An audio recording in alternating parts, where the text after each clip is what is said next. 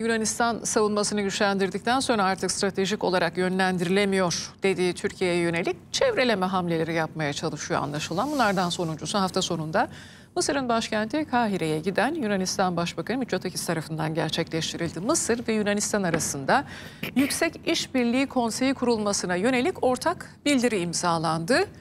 Türkiye, Doğu Akdeniz ve Ege'de ve Afrika'daki hamlelerini mercek altına alınması gerektiren bir güç haline geldi diyen Yunan basını da Türkiye alarmı vermiş durumda. Tanea gazetesi Mısır'ın kritik öneme bir sahip İskenderiye limanını Türkiye'ye satabileceğini veya kiralayabileceğini öne sürdü. Bunun gerçekleşmesi halinde Ankara'nın Afrika'da yeni işbirliği fırsatları yakalayabilir uyarısında bulundu.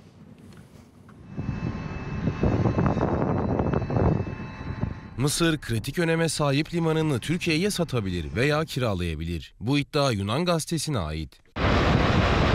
Tanıya'nın haberi Mısır İskenderiye limanını Türkiye'ye satacak mı başlığıyla yayınlandı. Ekonomik çıkmazda olan Mısır'ın Rasel Hikma bölgesine 22 milyar dolara Birleşik Arap Emirlikleri'ne sattığı hatırlatıldı. Benzer bir anlaşmayı Türkiye ile de imzalayabileceği öne sürüldü. İskenderiye Limanı Akdeniz bölgesinin önemli bir ticaret ve nakliye merkezi. Konumu nedeniyle tedarik zinciri açısından büyük potansiyel taşıyor. Yunan basınına göre limanın Türkiye'ye satılması veya kiralanması burayı yeni bir ticaret ve lojistik merkezine dönüştürebilir ve İskenderiye Türkiye'nin Afrika'ya açılan kapısı haline gelebilir. Tanea böyle bir anlaşmanın Mısır'la sınırlı kalmayabileceğini, Türkiye'ye diğer Afrika ülkeleriyle de yeni ticari ve ekonomik fırsatlar sunabileceğini belirtti. Bu görüşü desteklemek için de Cumhurbaşkanı Erdoğan öncülüğünde kıtada başlatılan diplomasi atılımını örnek gösterdi. Türkiye son yıllarda Afrika kıtasında 26 büyükelçilik açtı. Ayrıca Türk iş dünyasının Afrika'daki projelerinin toplam değeri 85,5 milyar doları aştı. Yunan gazetesi geçen ay Türkiye ile Somali arasında imzalanan tarihi anlaşmayı da hatırlattı. O anlaşma kapsamında Somali karasularını koruma yetkisini 10 yıllığına Türkiye'ye verdi. Tanea, Türk donanmasının Kızıldeniz, Aden Körfezi ve Basra Körfezi'nde kalıcı varlık kazanmaya başlamasını öngören bir planın devreye girdiği açık ifadesine yer verdi. Şimdi tabii e, sadece Yunanistan değil Ermenistan'ın da hamleleri vardı. Kaan'ın uçuşundan sonra biliyoruz Yunanistan, Erivan, e, Tahran, Paris hattında e, yoğun bir hava trafiği yaşandı. İşbirliği anlaşmaları, askeri destek anlaşmaları falan havalarda uçuştu. Ona da döneceğiz. Bunun karşısında Türkiye'nin duruşu net. Azerbaycan Cumhurbaşkanı Aliyev'in de çok önemli bir mesajı oldu. Birazdan ona da bakacağız ama siz nasıl yorumluyorsunuz? Yani böyle bunu biz NATO için vazgeçilmezdi. Aslında NATO'da bir işe yaramadığını göstermeye çalıştık. E yani bu S-400 meselesinde bayağı da bir yaklaştık. Yani şu kadar kaldı Türkiye'yi dışlamamıza. Ama o da olmadı. Türkiye'nin attığı adımlarla ve savunma sanayinde yakaladığı e, özellikle çok stratejik bir e, güç kazanmış durumda. Artık hani sadece NATO için vazgeçilmez değil e, işte NATO Amerika üzerinden benim de yönlendiremeyeceğim ele avuca sığmaz bir hale geldi. E ben ne yapayım o zaman? Hadi Ermenistan'la savunma işbirliği anlaşması imzalayayım. İşte Yunan Savunma Bakanı Dendias gitsin.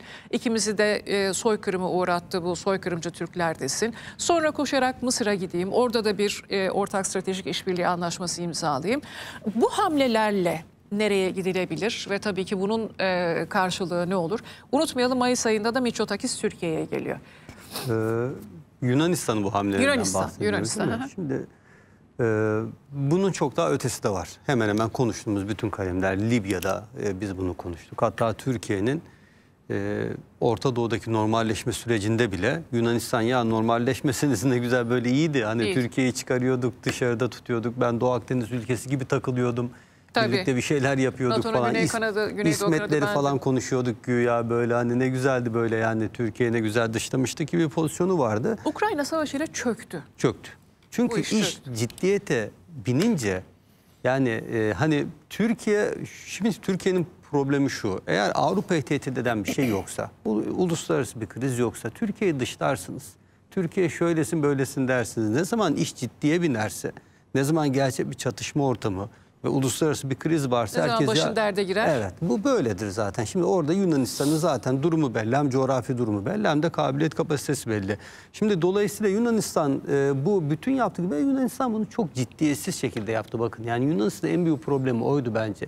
Libya'da da bunu böyle yaptı. Mısır üzerine halbuki şunu düşünmedi. Ya ben Mısır'la bunu yapıyorum. İşte Türkiye 2019'a gitti bir anlaşma imzaladı. Hemen 2020'de ben de Mayıs'ını imzalayayım. Hatta Hamudu ile götürmeye çalışayım amiyane ifadesiyle falan. Halbuki şunu bilirsiniz buçuk. Karşınızdaki devlet Mısır.